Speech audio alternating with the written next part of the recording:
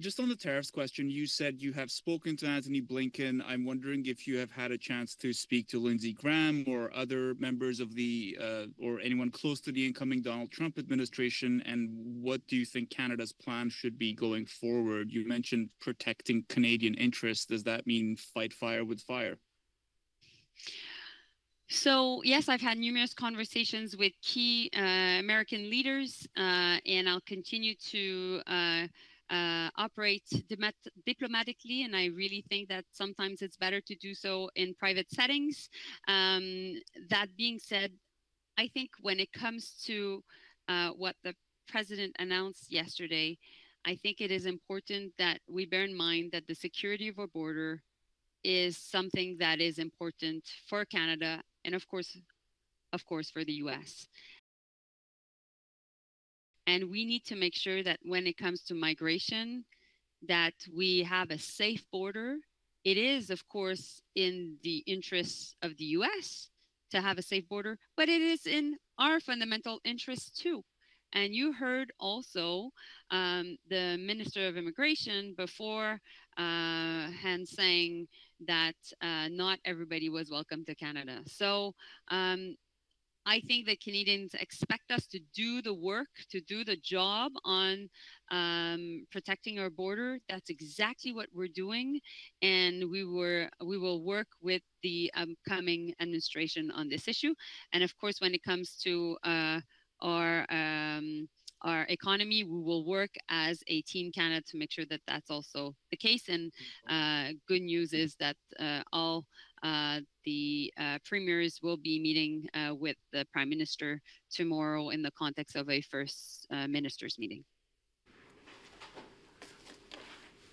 I'm told the minister may be out Sorry. of time. I'm not sure if there's a possibility for one more question, a follow up from Rafi. But yes, one I, more question, one more follow up, and we're done. Okay. Thank you. Just wondering on the question of a Lebanese ceasefire, you yeah. were optimistic that was going to happen earlier in the year and then disappointed when it did not. Um, what makes you confident that this one could be uh, could actually happen? Listen, I take I never take anything for granted. Uh, we've been calling for a ceasefire in Lebanon for a long time. We think it's in the interest of the region, of Israel, of Lebanon, uh, and we really hope that this will bring back peace and security. Uh, I've had very positive conversations in the last uh, days with Amos Hochstein, uh, which is the special envoy uh, of the U.S. for Lebanon, with Tony Blinken himself, with Jean-Noel Barrot, who is the French foreign minister. So I really, really think that uh, we need to continue to uh, press for it.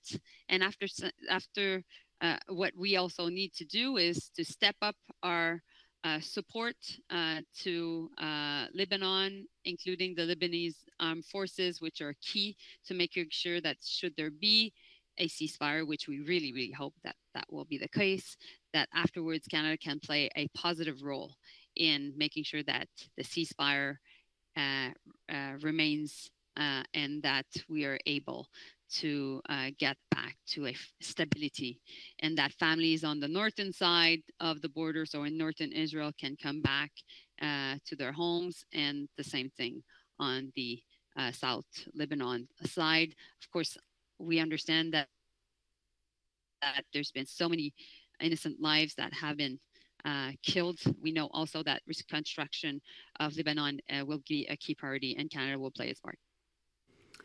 And I believe that's all the time we have today. Désolé, uh, uh, mes collègues, it's a very intense, busy day.